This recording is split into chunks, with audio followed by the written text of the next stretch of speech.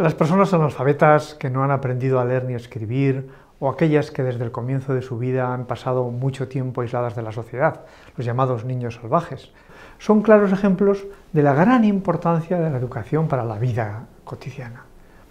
Los estudios sobre estos niños salvajes, como el famoso caso de Kaspar Hauser, presentan varios problemas científicos que hacen muy difícil extraer conclusiones. Sin embargo, queda bien establecido que estos chicos sufren alteraciones tanto hormonales como biológicas y serias degeneraciones cognitivas que impiden su pleno desarrollo personal por esta falta de educación.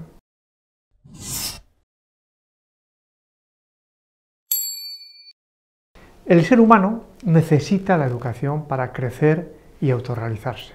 Esta es una de las ideas en las que hay mayor consenso a lo largo de la historia. En comparación con los otros animales, que aprenden con rapidez las habilidades necesarias para, sobrevivir, el bebé humano necesita mucho más tiempo y es mucho más dependiente de sus progenitores. Pero luego, los demás mamíferos se estancan en esos conocimientos, mientras que el humano mantiene siempre una capacidad de aprendizaje creciente. Podríamos decir que las personas no solo necesitan ser educadas, sino que están hambrientas de educación. Y para ello, cualquier comunicación con sus semejantes implica ser influenciados, educados, a cualquier edad.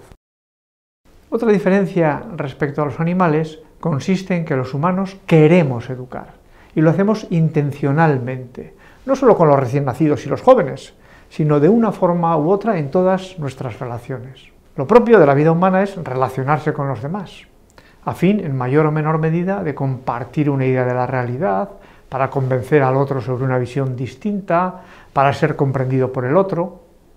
Así se entiende que la influencia de un profesor sobre sus alumnos nunca se limita a los aspectos puramente académicos o profesionales. El docente siempre tiene una influencia moral, estética, de referentes de conducta sobre sus estudiantes y tiene por tanto una responsabilidad importante como educador.